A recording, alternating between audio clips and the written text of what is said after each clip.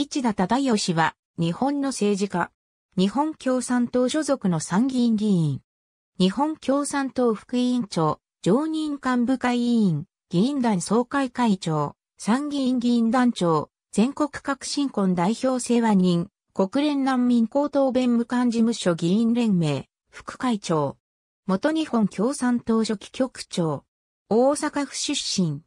現在は東京都在住。10歳の時に縫製工場を営んでいた父親を亡くす。滋賀県立妖怪地高等学校卒業後、大阪市の繊維商社に就職するが2年で退職。1967年、立命館大学法学部法律学科の夜学卒業。大学在学中から龍谷大学図書館で働き、大学卒業後は龍谷大に就職した。龍谷大学教職員組合書記長を経て、1971年から日本共産党の専従職員となる。1988年には日本共産党京都府委員会委員長、1994年には党中央委員会常任幹部会委員に選任される。1998年に第18回参議院議員通常選挙に日本共産党公認で比例区から出馬して初当選を果たした。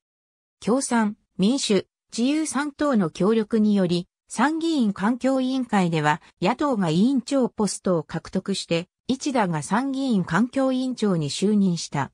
1999年に党選挙対策局長に就任した。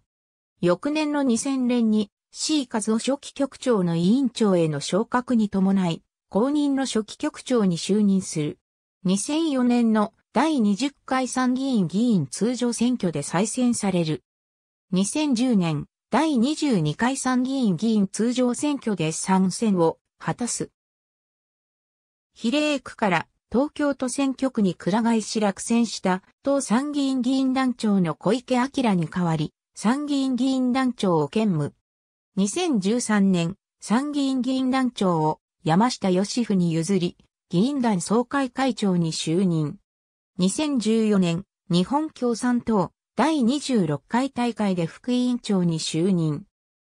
2015年には2016年の第24回参議院議員通常選挙に立候補せず、任期限りで引退することを表明していたが、党は民進党などとの間で進めている野党連携において一打の人脈などが必要と判断し、2016年4月、党常任幹部会は、第24回参議院議員、通常選挙比例代表に、一打を擁立することを決定。